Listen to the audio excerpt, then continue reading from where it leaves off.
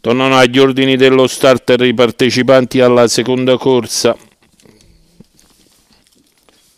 Si tratta di una condizionata per anziani di 5 e 6 anni.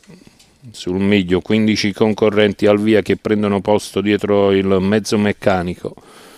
200 metri alla chiusura delle ali.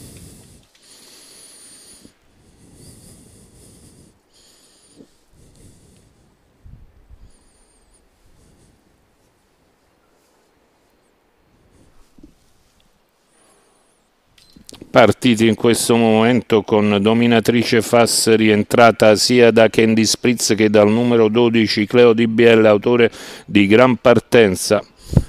Partito pianissimo invece Druso Nerone GPD, primi 200 metri in 14 secchi, Candy Spritz, Cleo Di Biella nelle prime due posizioni, in terza troviamo Disis del Circeo, in quarta filtra Dick Dick Jet.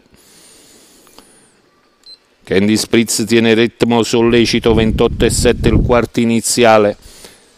La segue da vicino Cleo di BL ad un paio di lunghezze d'Isis del Circeo, poi dominatrice Fassa al largo con all'interno Dick Dick Jet. Molto più dietro gli altri, addirittura 42,7 per i 600 iniziali. Continua di buona lena la leader che va a completare metà percorso addirittura in 58,2. Risale al largo Dennis che si va a sistemare quarto e poi continua sul passo, muove all'esterno, coglie i primi un po' in difficoltà.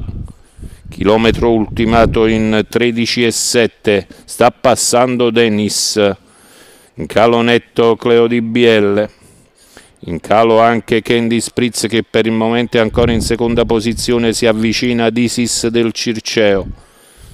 Ha preso il largo Denis, Denis eh, entra in retta d'arrivo isolato.